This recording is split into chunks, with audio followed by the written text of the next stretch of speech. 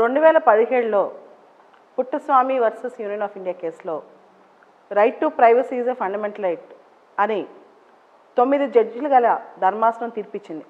కానీ నిజంగా భారతదేశంలో ప్రైవసీ ఉందా అనేది ఆలోచించాల్సిన అంశం.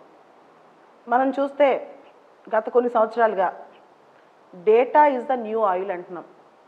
అంటే భారతదేశంలో మనకు తెలియంది అర్థం కాంది ఏంటంటే మన పర్సనల్ డేటా అనేది దేనికైనా ఎవరైనా ఉపయోగించుకునే విధంగా మనం చాలా సందర్భాల్లో బహిర్గతపరుస్తూ ఉంటాం.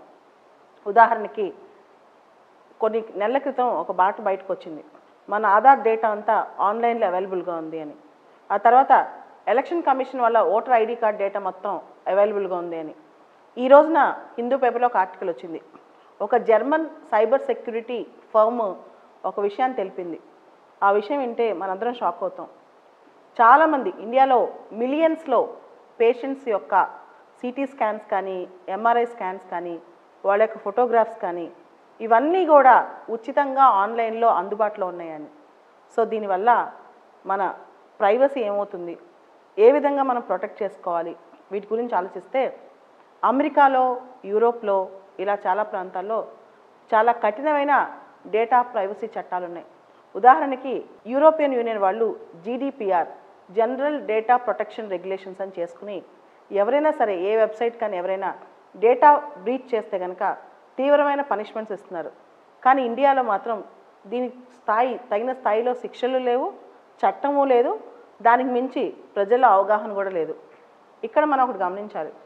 రెండు వేల పదిహేడులో రైట్ టు ప్రైవసీ ఒక ఫండమెంటల్ రైట్ అని చెప్పిన తర్వాత ఆధార్ కేసులో మన యొక్క ప్రైవేట్ అంటే పర్సనల్ విషయాలని బయోమెట్రిక్ డెమోగ్రఫిక్ డేటా తీసుకుంటారని తెలిసి ఇండియాలో కూడా ఒక స్ట్రాంగ్ ప్రైవసీ లా రావాలని చెప్పి శ్రీకృష్ణ కమిటీ అనే ఒక కమిటీని అపాయింట్ చేశారు.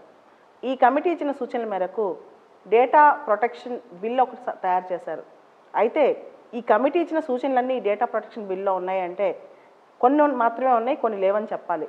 ఉదాహరణకి కమిటీ ఇచ్చిన సూచనలో ఒక డేటా ఒక వ్యక్తి నుంచి కలెక్ట్ చేసేటప్పుడు ఆ వ్యక్తిని డేటా ప్రిన్సిపల్ అంటాం. ఏ ఎంటిటీ అయితే ఆ డేటాని కలెక్ట్ చేస్తుందో వాళ్ళని డేటా ఫిడ్యూషియరీ అంటాం.